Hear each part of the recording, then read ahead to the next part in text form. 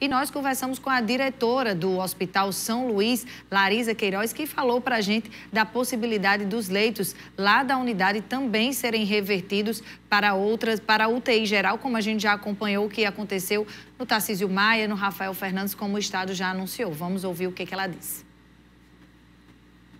Nós estamos com 18 leitos de UTI ocupado dos 50, né? Uma ocupação, uma das ocupações menores que a gente teve, só a menor que a gente teve foi no início de novembro, que foram oito leitos ocupados.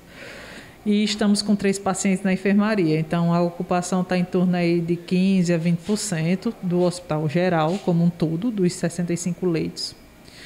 E isso é muito gratificante para a gente que a gente está vendo essa pandemia abrandar um pouquinho aqui para a cidade. O Hospital São Luís ele tem 10 leitos credenciados SUS de hospital geral. A tendência é que esses leitos sejam reativados, esses 10 leitos, e que esses leitos que foram transformados em UTI Covid, eles passem a ter em outras unidades do Estado. A gente está dialogando com o Ministério Público, que foi quem provocou o TAC, para ver como a gente vai fazer essa reversão ou essa manutenção de leitos daqui para frente.